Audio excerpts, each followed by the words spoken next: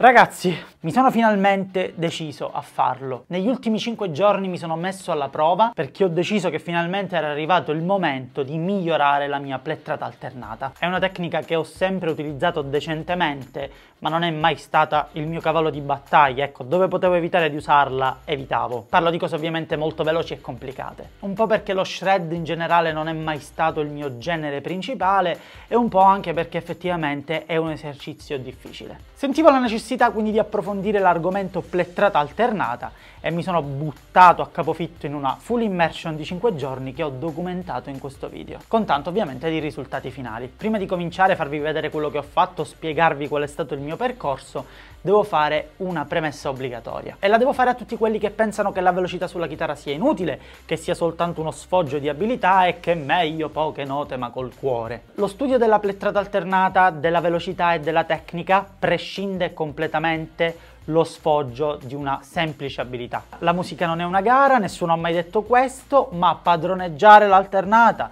essere veloci, essere capaci, avere un buon suono anche in situazioni dove c'è bisogno di correre, sono tutte cose che vanno studiate, approfondite a prescindere dal genere che suonate. Se siete bluesman da due note al secondo, dovete comunque studiare la tecnica, il discorso di suonare poche note ma col cuore è soltanto per tanti una scusa per non studiare. Io stesso mi definisco definisco tutt'altro che uno shredder da 300 bpm e cose così, però la tecnica va studiata e quando la padroneggiate avete un controllo che poi vi fa suonare ovviamente anche meglio quando andate piano. Andiamo al percorso che ho intrapreso e cosa ho fatto per essere qui oggi un chitarrista migliore di 5 giorni fa. Il buon amico David di Chitarra Facile ha prodotto un corso sulla plettrata alternata avvalendosi del supporto di tre chitarristi italiani con la plettrata fotonica, Vanni Tonon, Andy Martongelli e Valentino Francavilla. David mi ha fornito in anticipo questo corso e durante una lezione, un video di Valentino Francavilla, a un certo punto lui suona un lick alla Malmsteen che io ho riconosciuto subito. Ad esempio...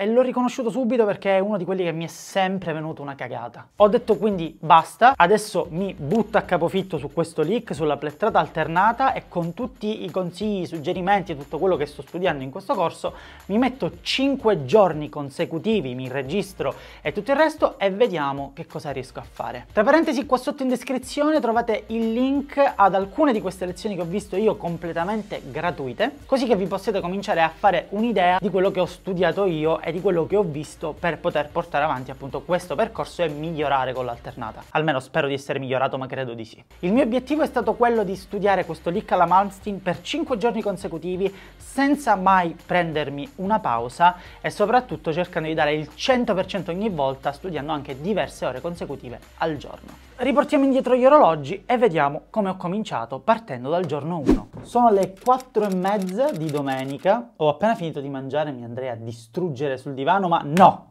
Dobbiamo migliorare la plettrata alternata. Visto che oggi è il primissimo giorno, dobbiamo decidere tre cose fondamentali. La prima è il tipo di plettro che deciderò di utilizzare, se il classico Tortex verde 0,88 che uso da una vita, neanche so la misura, oppure se il Tortex viola, è un po' sbiadito ma dovrebbe essere quello da 1.14.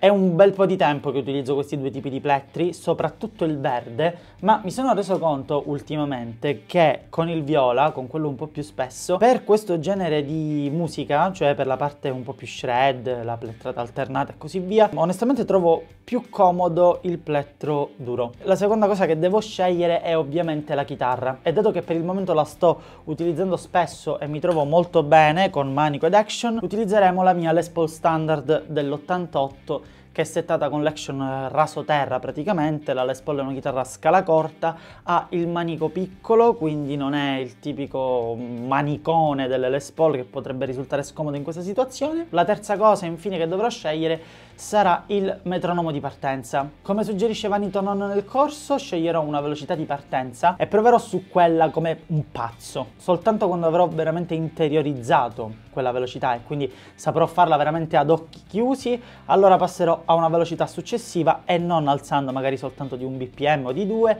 ma faremo salti, penso proprio di 5 bpm. Non utilizzerò un suono super distorto con delay e riverberi a cannone perché ovviamente sarebbe un po' come barare. Proviamo a partire con 100 bpm.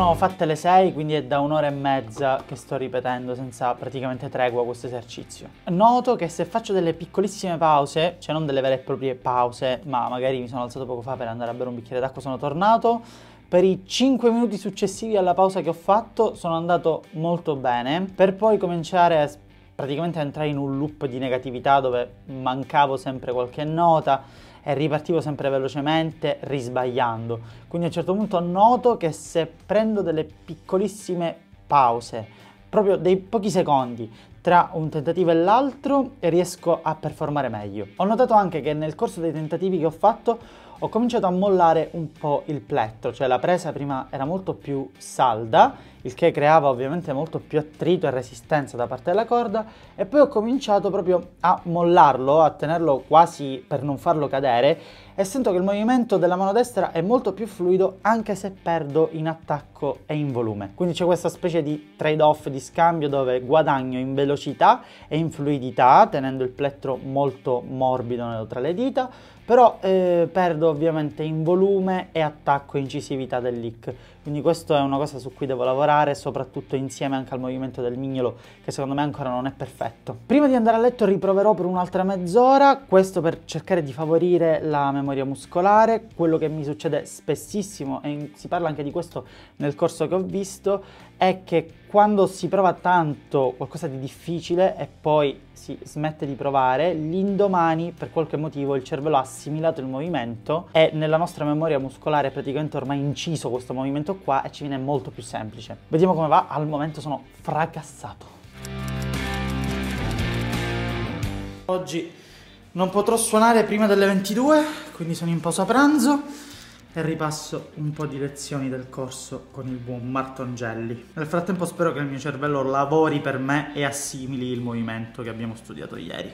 Uh, ok, finalmente ci siamo. Sono le 21.18 del secondo giorno e attualmente oggi ancora non ho toccato la chitarra zero completamente. Prima di iniziare ho deciso di apportare una modifica importante al modo in cui svolgerò l'esercizio. Questa cosa è dovuta al fatto che ho rivisto i video che ho girato ieri, quindi l'esercizio che ho fatto ieri, e anche all'idea che mi ha dato Martongelli nel parte del corso che stavo guardando oggi a pranzo. Avevamo detto che avrei utilizzato la Les Paul. Per il modo naturale in cui la Les Paul si poggia sulla gamba destra, ci costringe a tenere la mano destra con cui plettriamo molto arretrata, proprio per il modo in cui è costruita. Riguardando i video mi sono accorto di tenere in tensione proprio il braccio destro per tenerlo nella posizione giusta per plettrare e questa cosa magari indirettamente, inconsciamente mi ha stancato e quindi magari avrei potuto fare di meglio o suonare per più tempo ma quella posizione mi stava stancando infatti alla fine di ieri eh, ero proprio esausto, cioè le mani, il braccio, sentivo di essere stanco. Come suggerisce Martongelli nel corso, quindi utilizzeremo un poggiapiede e posizioneremo la chitarra come si fa nella posizione nella impostazione classica. Terrò il corpo della chitarra al centro tra le due gambe col piede sinistro rialzato e il corpo che poggia sulla gamba sinistra e non sulla destra. In questo modo sto anche più dritto con la schiena e riesco a plettrare per più tempo con una posizione del braccio e delle mani molto più comoda. Un altro approccio che proverò e che suggerisce Martongelli è che inizierò l'esercizio su un BPM molto più alto e poi lo imposterò indietro invece al mio BPM obiettivo, a quello che era il mio obiettivo di oggi. Il concetto è che le mani si abituano ad inseguire, tra virgolette, il metronomo più veloce e quando lo andiamo ad impostare invece alla nostra velocità standard, cioè la nostra velocità obiettivo, teoricamente tutto dovrebbe essere molto più semplice. Ci sembrerà di andare su un metronomo talmente lento che ci verrà comodo. Almeno questa è la teoria. Devo dire che dopo tutta un'intera giornata cominciare a studiare alle nove e mezza non è proprio il massimo della vita, ma dobbiamo raggiungere un obiettivo. Abbiamo, andiamo direttamente a 155 e vediamo che cosa succede per poi scendere a 145 dopo aver fatto una bella sessione su questo BPM.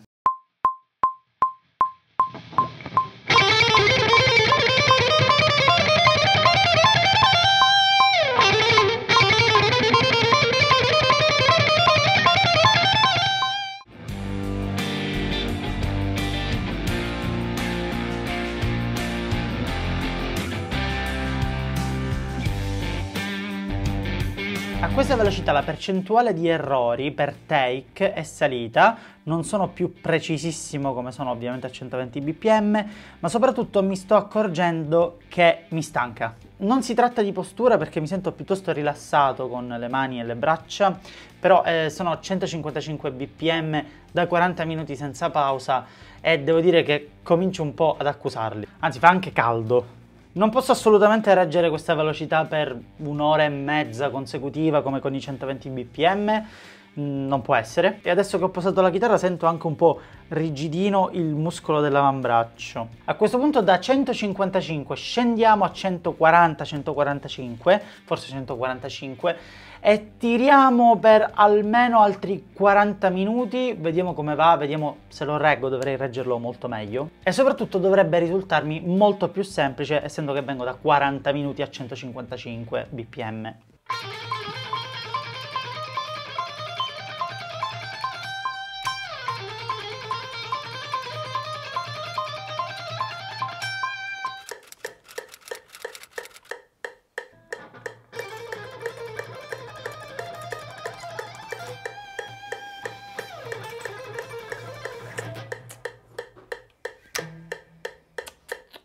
Ci dobbiamo fermare. Stavo per finire la prima mezz'ora a 180 bpm per poi scendere a 165. Ero preso bene perché stavo ingranando bene sui 180 bpm quando ho cominciato a sentire un dolore al polso sinistro, come avete visto. E mi voglio fermare, non voglio stressarmi oltre, non vorrei compromettere i giorni successivi. Non ho mai veramente approfondito la plettrata alternata così a mo' di tour de force, quindi ci può stare che magari eh, non sia molto predisposto alla cosa e mi ci devo abituare. Il terzo giorno quindi finisce così, mi riprendo, mm, sto a riposo con la mano sinistra, non suono più per oggi, e vediamo domani come va. Giorno 4. Il riposo forzato di ieri mi ha aiutato perché oggi non ho completamente più il fastidio al polso, comunque al braccio sinistro. Credo che abbia anche aiutato a riposarsi per dare una sorta di reset al cervello, tant'è che già qualche minuto che suono e i 180 bpm mi risultano abbastanza comodi. Sono riuscito anche a dosare la forza con cui tenere il plettro per cercare di trovare un compromesso tra fluidità del movimento della mano destra e comunque potenza e attacco sulle note. E sono stato sui 200 bpm giusto due minuti così per prova e probabilmente non riuscirò a raggiungerli. Non credo che comunque sia un problema perché già 185-190 bpm sono veramente molto veloci, c'è già una velocità consistente ed essendo che comunque questo esercizio poi io lo devo applicare in musica e non è una gara fine a se stessa e non mi interessa arrivare a 300-400 bpm, 200 quelli che è, l'importante è che io padroneggi bene la tecnica e che poi io sia in grado di utilizzarla nelle improvvisazioni, nei soli, insomma in quello che voglio. Anche perché sento che la plettrata alternata mi è migliorata a 360 gradi, non solo nell'esercizio che stavo provando, ma anche in tutti quei pattern su cui già magari ero abbastanza ferrato, adesso sono migliorati. Quindi domani cercherò di registrare direttamente qualcosa utilizzando la nuova tecnica eh, per vedere anche effettivamente quanto ne ho giovato in termini pratici e non soltanto stando dietro il metronomo. Ricordiamoci che l'importante non è l'esercizio ma poi effettivamente suonare.